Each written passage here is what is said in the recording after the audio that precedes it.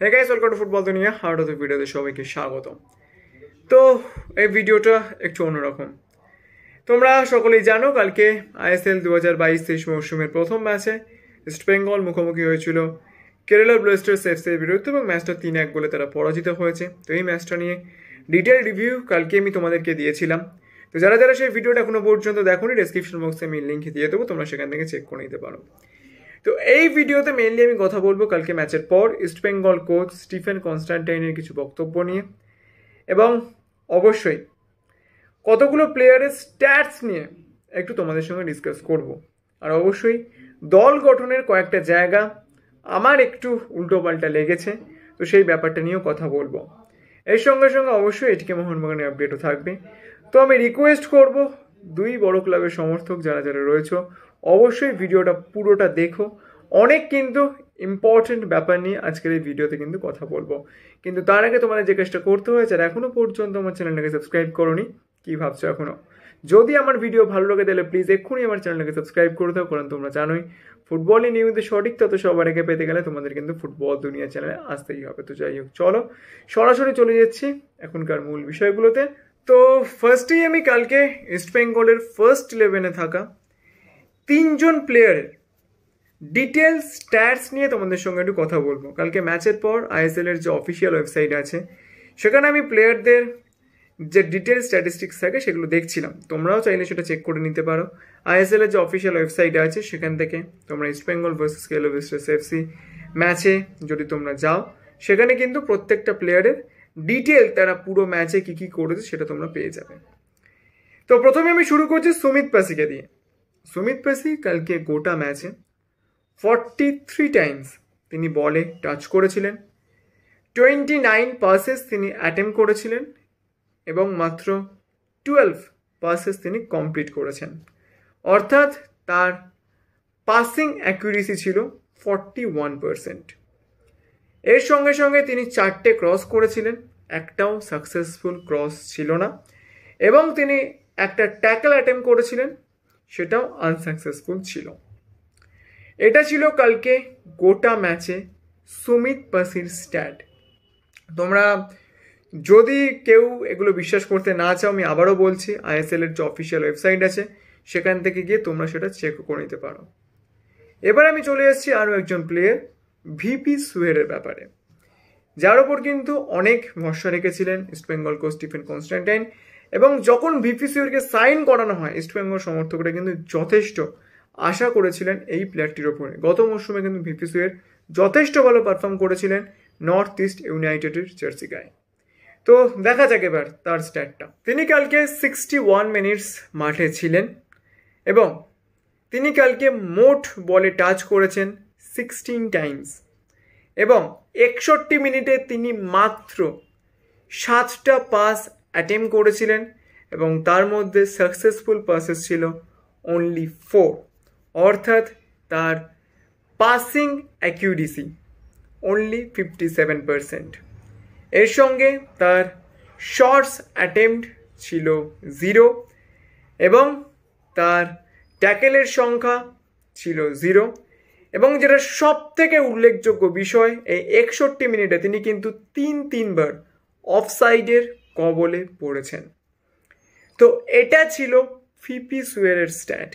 তো বুঝতেই পারছ, এগারো জন প্লেয়ারের মধ্যে দুজন প্লেয়ারের স্ট্যাট কিন্তু মারাত্মক রকমভাবে শোচনীয়। এরপরে আমি চলে এসেছি অঙ্কিত মুখার্জির ব্যাপারে। তিনি পুরো নাইনটি মিনিটসই মাঠে ছিলেন। বলে টাচ করেছেন fifty one times pass attempt করেছিলেন তিরিশটা সাকসেসফুল হয়েছিল সতেরোটা। Passing accuracy only fifty seven percent এর সঙ্গে সঙ্গে তার ইন্টারসেপশন ছিল তিনটে। ট্যাকেল করেছিলেন দুটো সাকসেসফুল একটাও হয়নি। ক্রস জিরো ফাউল কমিট করেছেন দুটো এবং তার এগেনস্টে কোনো ফাউল হয়নি। তো বুঝতেই পারছ, এই তিনজন প্লেয়ারের পারফরমেন্স কিন্তু যথেষ্ট হতশ্রী ছিল। তো কোনো একটা ম্যাচে তিনটে প্লেয়ার যদি এরকম বিলো অ্যাভারেজ পারফরমেন্স করে, তাহলে কিন্তু সেই দলের পারফরমেন্স খুব একটা ভালো হয় না। এক একজন যদি একটু খারাপ পারফরমেন্স করে, সেটা ঢেকে দেওয়া যায়। এছাড়াও কিন্তু পরিবর্তন হিসেবে যারা নেমেছিলেন, অর্থাৎ এলিয়ান্দ্রো সেম্বয় হাউকিপ এদের পারফরমেন্সও কিন্তু একেবারেই খুব একটা ভালো ছিল না। যদিও সেগুলো নিয়ে আমি ডিসকাস করলাম না, যারা অনেক বেশিক্ষণ গেম টাইম পেয়েছিলেন, তাদের নিয়ে কিন্তু ডিসকাস করলাম। তো এরকম তিন, তিনটে প্লেয়ার যদি এতটাই খারাপ খেলে কোনো একটা ম্যাচে সেইটা কিন্তু অবশ্যই টিমের পারফরমেন্সে প্রভাব ফেলতে পারে। এই ব্যাপারটা নিয়ে তোমাদের কি মতামত অবশ্যই আমাকে কমেন্ট করে জানিও। এবার আমি চলে এসেছি ইস্ট বেঙ্গল কোচ স্টিফেন কনস্ট্যান্টাইনের ফার্স্ট ইলেভেন সিলেকশনের কয়েকটা ব্যাপার নিয়ে একটু কথা বলতে। প্রথমত, চেরালাম্বুস কিরাকেও যতদূর আমি জানি তিনি রাইট ব্যাক পজিশনের প্লেয়ার এছাড়াও তিনি রাইট স্টপার পজিশনে খেলতে পারেন। কিন্তু কোনো এক অজানা কারণে চেরেলাম্বুস কিরিয়াকুকে ইস্টবেঙ্গল কোচ স্টিফেন কনস্ট্যান্টাইন প্রথমবারের জন্য কিন্তু লেফট ব্যাক পজিশনে ব্যবহার করলেন। এর আগে কিন্তু আমরা ডুরান কাপের ম্যাচে চেরালাম্বুস কিরাকাউকে রাইট ব্যাক পজিশনেই কিন্তু খেলতে দেখেছিলাম। এর সঙ্গে তুহিন দাস, যদি আমি খুব ভুল না করি, তিনি কিন্তু লেফট ব্যাক পজিশনের প্লেয়ার, কিন্তু তাকে কালকে লেফট উইংয়ে খেলানো হলো। সেইটাও কিন্তু খুব একটা আমার বোধগম্য হলো না। এবং বলা যায়, সম্পূর্ণরূপে কিন্তু ব্যর্থ হলেন এই তরুণ বাঙালি ফুটবলারটি। অন্যদিকে, সুমিত পাসির পজিশন নিয়ে তো অবশ্যই যথেষ্ট কথা বলার জায়গা রয়েছে, যেটা নিয়ে আমি কালকেও বলেছিলাম। সুমিত পাসি কিন্তু রাইট উইংয়ে একেবারেই ফিট করেনি কালকে ইস্টবেঙ্গলের খেলায়। তো সেক্ষেত্রে ওই দিকটা কিন্তু সম্পূর্ণভাবে দাঁড়িয়ে গিয়েছিল। অন্যদিকে, জেরি লাল্লুনজুয়ালাকে ইস্টবেঙ্গল কোচ কিন্তু তুহিন দাসের পরিবর্তে নামান এবং সেইটাও বা কেন উনি নামালেন সেটাও কিন্তু আমি বুঝতে পারলাম না। জেরি কিন্তু লেফট ব্যাক পজিশনের প্লেয়ার তিনি কিন্তু কখনোই লেফট উইঙ্গার নয়। তো এই ব্যাপারগুলো নিয়ে কিন্তু অবশ্যই ইস্ট বেঙ্গল কোচ স্টিফেন কনস্ট্যান্টাইনকেও ভাবতে হবে। যে যে পজিশনের প্লেয়ার আমার মনে হয় তাকে সেই পজিশনে খেলানোটাই বেটার আইএসএলটা কিন্তু এক্সপেরিমেন্টের জায়গা নয়। East Bengal coach Stephen Constantine অনেক অভিজ্ঞ কোচ অনেক বেশি কিছু আমাদের প্রত্যেকের থেকেই উনি জানেন। তো সেক্ষেত্রে আমার যে ব্যাপারগুলো নিয়ে মনে হলো, সেগুলো আমি তোমাদের সঙ্গে শেয়ার করলাম। অন্যদিকে ইস্ট বেঙ্গল কোচ কালকে ম্যাচের পরে যেটা বলেছেন যে অবশ্যই এখান থেকে তার দল ঘুরে দাঁড়াবে। তারা যথেষ্ট প্রস্তুতির সময় পায়নি। কিন্তু দেখো, এই প্রস্তুতির সময় পায়নি এই কথাটা কিন্তু খুব বেশি দিন বলা যাবে না। গত দুবারের তুলনায় কিন্তু ইস্ট বেঙ্গল অনেক বেশি প্রস্তুতির সুযোগ পেয়েছে। ডুরান কাপে চার, চারটে ম্যাচ পেয়েছিল।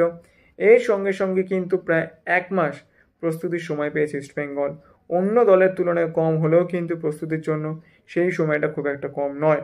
আইএসএলের প্রথম দিকে প্রস্তুতির অভাবের কথাটা বলা গেলেও কিন্তু পরের দিকে এই কথাটা খুব একটা কিন্তু বলা যাবে না। যাই হোক, আশা করব ইস্টবেঙ্গল পরের এফসি গোয়া ম্যাচ থেকে ঘুরে দাঁড়াবে। বুধবার কলকাতায় খেলা। আশা করব সেই ম্যাচে ইস্টবেঙ্গল ভালো পারফর্ম করবে। এবার আমি চলে এসেছি এটিকে মোহনবাগানের আপডেটে দশ তারিখ এটিকে মোহনবাগান নামছে। চেন্নাইন এফসির বিরুদ্ধে কিন্তু এই ম্যাচের আগে এটিকে মোহনবাগান কোচ ওয়ান ফেরান্ডোর মাথা ব্যথা অবশ্যই দলের স্ট্রাইকিং ফোর্স এবং গোল মিস করার প্রবণতা নিয়ে। এতদিন পর্যন্ত কিন্তু এটিকে মোহনবাগান যে কটা ম্যাচ খেলেছে, প্রত্যেক কটা ম্যাচেই কিন্তু এটিকে মোহনবাগানের ফরেন স্ট্রাইকারের অভাব কিন্তু চোখে পড়েছে। ইভেন এএফসি কাপে কুয়ালালামপুর এফসির বিরুদ্ধে এটিকে মোহনবাগান যে ম্যাচটা খেলেছিল, বলা যায় জেতা ম্যাচ মাঠের মধ্যে তারা ফেলে এসেছিল। তার কারণ অবশ্যই গোল করার লোকের অভাব এবং যেটা বারবার আমি বলছি, বিদেশি স্ট্রাইকারের অভাব। এই ব্যাপারটা নিয়ে কিন্তু এটিকে মোহনবাগান কোচের কপালে আরও চিন্তার ভাঁজ পড়েছে কিয়ার নাসিরির চোট।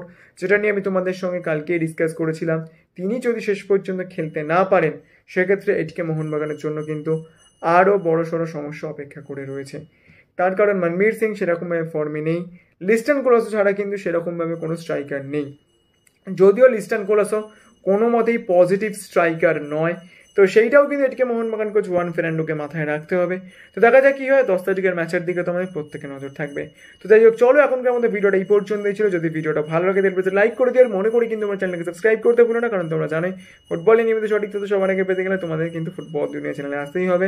আর যারা যারা আমার সঙ্গে ডাইরেক্টলি কথা বলতে চাও পার্সোনাল ফেসবুক অ্যাকাউন্ট সঙ্গে আমাদের ফেসবুক গ্রুপের লিঙ্ক দুটো ডিসক্রিপশন বক্সে রয়েছে, সেখান থেকে তোমরা আমাকে ফলো করে নিতে পারো। তো চলো এখনকার আমাদের এই পর্যন্তই, দেখা হচ্ছে পরের ভিডিওতে।